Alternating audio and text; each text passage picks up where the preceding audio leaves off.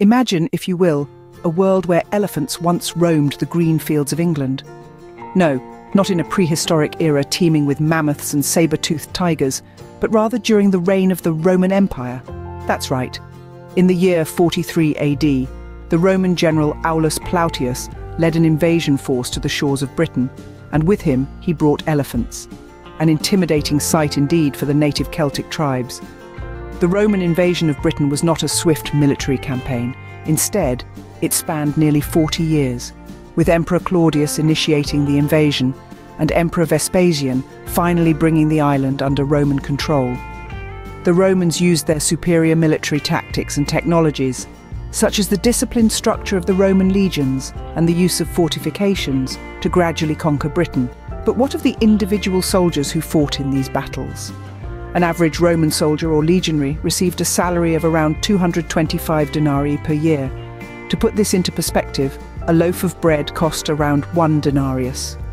This may not seem like much, but it was a steady income in a world where financial security was a luxury few could afford.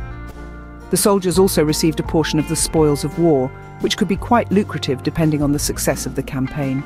And so, for nearly four centuries, the Romans ruled Britain, leaving their indelible mark on the landscape with roads, walls and cities that still exist today.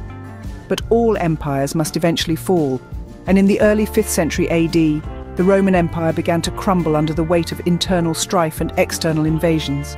The Roman legions left Britain never to return. The departure of the Romans created a power vacuum in Britain. The island descended into a period known as the Dark Ages, a time of turmoil and conflict. However, this period also gave rise to new kingdoms and cultures, laying the groundwork for the England we know today. In summary, the Roman invasion of Britain was a pivotal moment in the island's history, transforming it from a land of disparate Celtic tribes into a province of one of the greatest empires the world has ever known.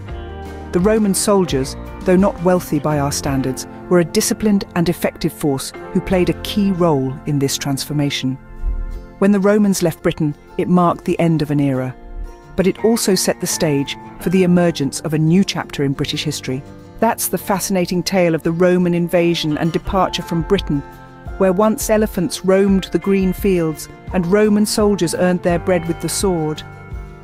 One can only wonder, what would Britain look like today if the Romans had never set foot on its shores?